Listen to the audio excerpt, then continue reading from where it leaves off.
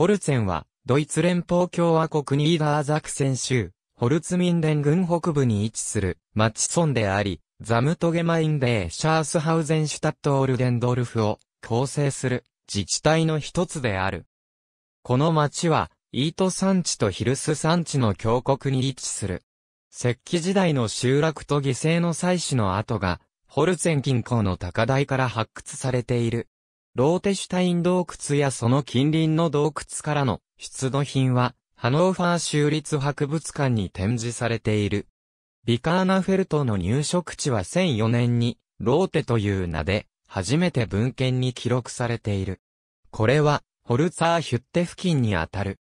この記録に基づき、ホルツェンは、その創建を1004年と定め、2004年に千年祭を祝い、年代記を交換した。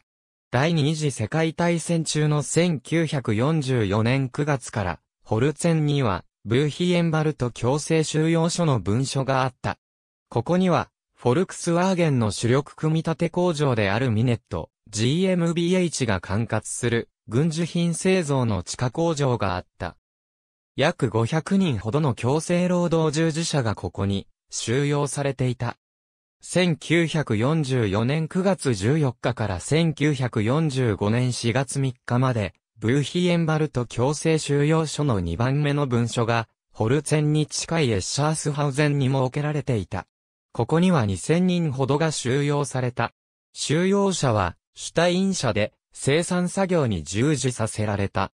1945年4月初めに、ブーヒエンバルト強制収容所の強制労働従事者は解放された。ドイツアスファルト AG グルベハールマンは、ミネット、GmbH の工場に製品を供給していた。東都機関の指導下で、1944年からイエーガープログラムのための工場が建設された。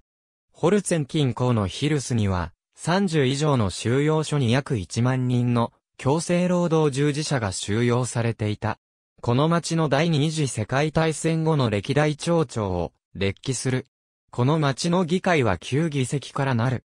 年に一度公民館で上演される、低地ドイツ語によるアマチュア劇団の公演がこの街に文化的な味わいを添えている。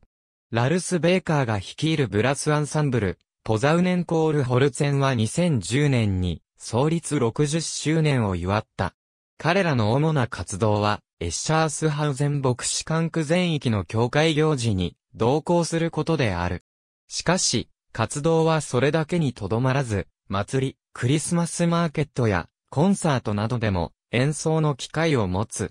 その広いレパートリーは賛美歌作品やクラシック音楽から現代曲、民謡、マーチ等までを含む。若い指揮者のオリジナル作品も好評を博している。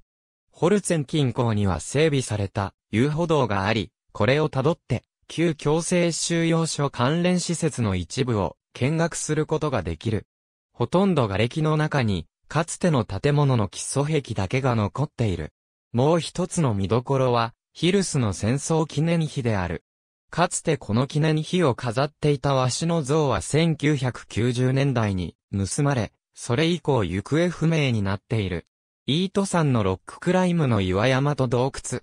ホルツェン近郊ヒルスのドイツアスファルト AG は、天然アスファルト採掘を行っているドイツで最後の企業である。この他に、二つの家具製造所、ワイン醸造業者、パン屋が営業している。また、二軒の専業農家がある。旧国防軍空軍基地の跡地にあるイート、兵器大隊社会奉仕学校は、集落から離れているが、この町に属している。